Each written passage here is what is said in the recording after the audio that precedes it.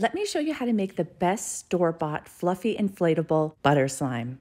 I will be using my clear gloss slime as a base for this tutorial. If you'd like to learn how to make this slime, you can check out rainbowplaymaker.com for this recipe and many more. So easy. All you have to do is take the cloud putty that I purchased at Target and mix it in with the clear gloss slime. And voila, you have yourself some fluffy, inflatable butter slime. This slime is so good, you guys. I highly recommend it. 10 out of 10.